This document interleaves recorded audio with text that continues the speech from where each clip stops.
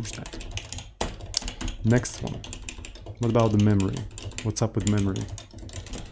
Tell me, tell me everything. What's up with memory? Ooh, inva- Oh, juicy. So now we have we're generating an invalid assembly. Ooh, I like that. So we expected that, but whatever we had here is basically invalid combination in here. Ooh, like that. Okay. 3400.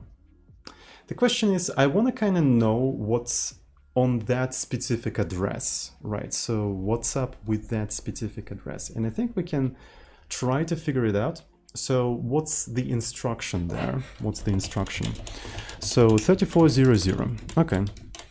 So import the port.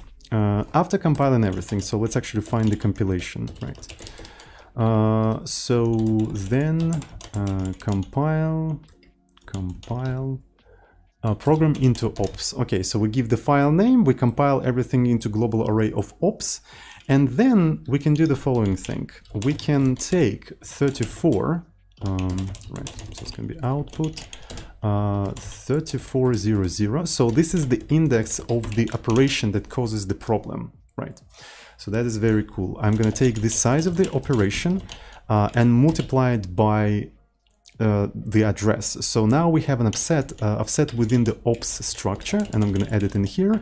And there you go. We have the, um, the, you know, the instruction that caused the problem. So then I'm going to take the OP type, and I think there was something like OP type as a string, and I can essentially print this entire thing. So I can just do puts, and there we go. So I can just print what was the instruction there. Uh, and we can also surround that with some sort of like a frame or whatnot. So this is going to be puts, and I'm going to put this thing as well in here. Okay, so I'm going to recompile the compiler, and then call the compiler yet again. Okay, unhandled data, really, uh, this is because I forgot to do plus in here. There we go. Mm, okay, argument is expected to be integer but got uh, pointer. Oh yeah, because I need to read it as an integer. Thank you so much. You see, type checker actually catches errors. Yes. So that's why type checking is important. It is in fact very much important. Okay, so during the compilation it will, okay, push global mem. And of course I forgot a very important thing, I forgot a new line in here. Uh, right, so it's a push global memory. Ha. So what is the actual value of that thing? What is the actual, did it turn out to be like a negative? We might as well, by the way, also find its location, right? So we might as well also find its location. So here is the op, uh, we pushed that op, and now we can form a block where I'm not using that thing directly, I'm just duping it, right? So I'm duping this operation and I'm printing its type. On top of that, I can now dupe uh, and take its location, right? So I can take its location and uh, then put that location, right, like this. And then I probably want to print something like this, puts. And then we can essentially, uh, I don't know, it would be nice to maybe align it like that, but who knows, maybe it would be better to do it like that. Right, so here's the location and here is the type. That way I'll be able to actually jump there. Okay.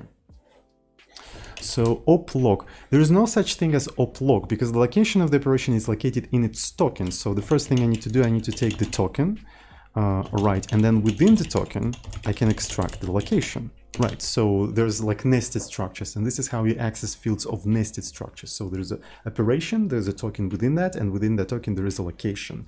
And then you just use that to print the location on the screen. Um, all right, so we're compiling the compiler. And now we need to do that again, but with the new version of the compiler, right? So it is located in here. So it's a str buffer size. Str buffer size. And why does that thing cause a problem? That is very fascinating because a size of... Is that the first ever memory? So it's in porth porth though. Hmm. So I suppose it has a value. It has a very weird value. Um. Oh wait. Am I an idiot? I am an idiot. I'm supposed to be compiling the test case. Okay. All right. I think. Uh, but who knows? We'll see.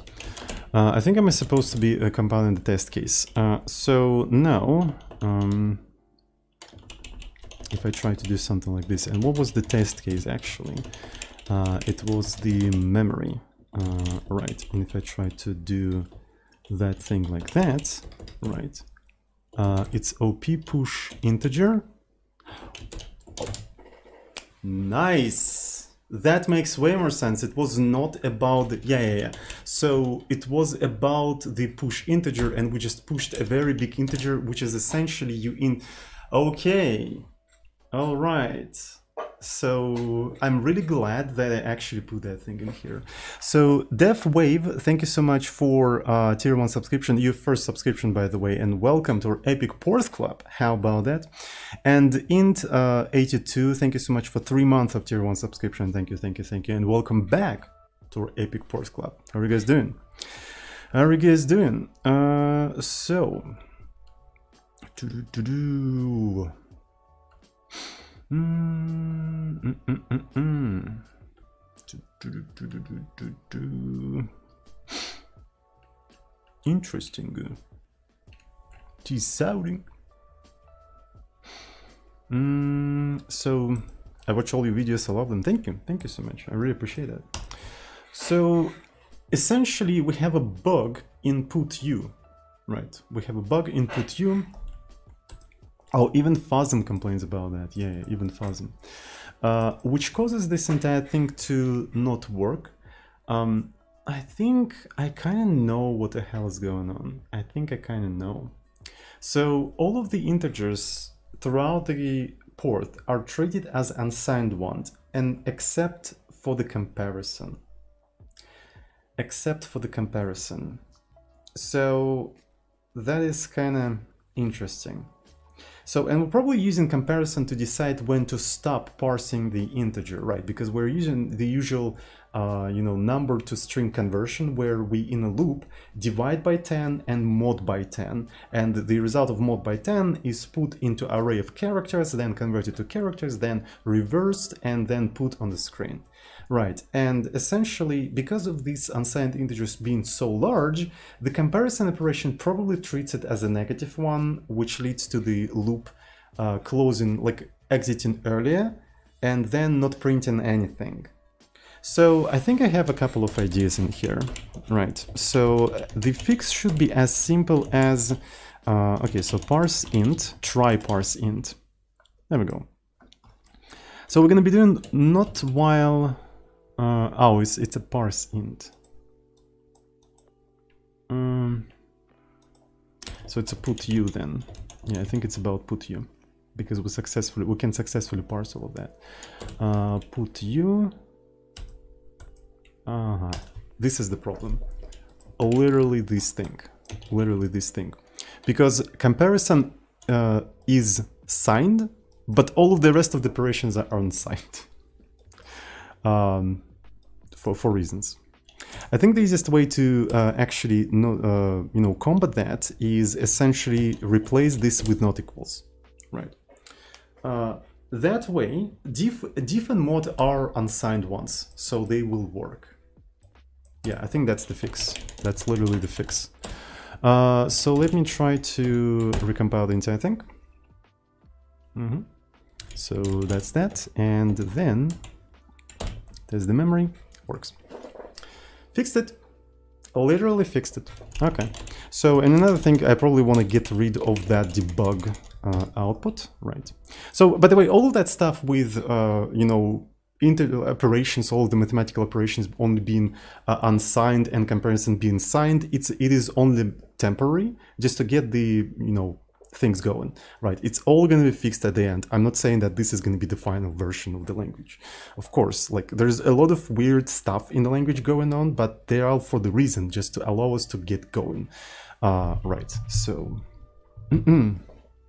Did you switch from NASM to FASM? Yeah, kinda, but I st uh, still support both of them. You can actually switch between them, uh, right? So you can use FASM or you can use NASM. And the reason why is because they have slightly different syntax. So the compiler has to generate slightly different files. Uh, for them to, to work properly. So that's why there's like two separate flags in here. So FASM is just a little bit faster. Uh, if you try to recompile the whole compiler with NASM, this is how much time it will take. So the compilation took half of a second, then type checking two seconds, and then NASM, which will take probably five seconds, right? And the whole compilation took seven seconds, right? So this is recompiling the compiler with itself. If I switch to FASM, right? So look at the time. It took two seconds, right? So it's, it's way faster. Uh, and again, I have no idea why, uh, not, what exactly NASM was doing. And I think uh, we did a stream on that, actually. We did all of that on the stream. We did all of that on the stream. So let me find, it's on Tsoding Daily. Tsoding Daily. Mm -mm -mm so probably have to go there. Uh, it's called We Need Faster Assembler, and uh, essentially we explored FASM and adapted FASM to Porth in this specific, this specific session. I'm going to put that link in the description as well. Uh, right, uh, I think I lost something. There we go. Uh, we need faster assembler. There we go. So you can find it in here. It was actually rather interesting session It was a rather interesting session. Uh, okay, so what I wanted to do, uh, porth dot porth. So I want you to get rid of this thing. Uh, so this is the the whole fix of the of the problem apparently. I really like that. Um, so this is the memory, right? So let me try to do, um, you know, test. I'm gonna just run this entire thing, and okay, uh, yeah, because I forgot to recompile the, the compiler. Uh, of course, uh, let's recompile the compiler, because I already removed everything that needs to be removed. And let's run the test now. Cool, everything's fine. Uh, failed. Mm -hmm. Porth.porth. Fix this thing. And let's push that right into the repo.